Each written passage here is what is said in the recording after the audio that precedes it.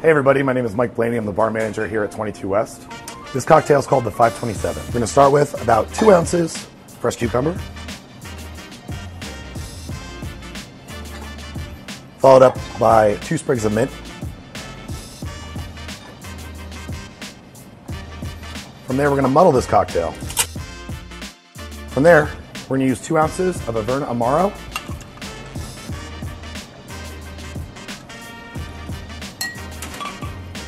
Followed up with Asbury Park Distilling's Barrel Aged Gin, half ounce.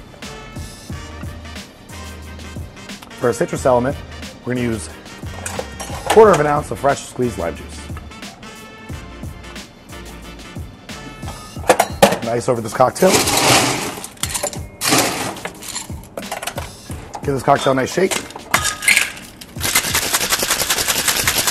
We'll use our conical strainer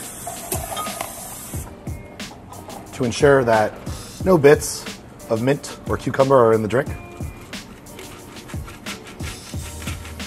Just top this with club soda.